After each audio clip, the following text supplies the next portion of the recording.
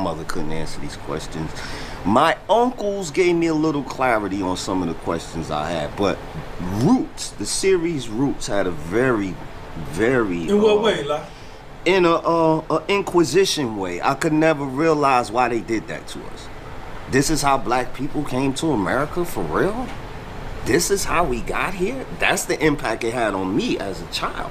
Seeing us in the ships, seeing Kunta Kinte foot get chopped off, seeing them beat him to make him say his name is Toby. The overall question I had in my mind was, why? Why did this take place? And from the time I saw Roots in the fourth grade, from that point on, I began soul searching as to why these chain of events took place. Why were my ancestors brought over here like this in the first place? And no one could never really explain that to me. I never really gained understanding of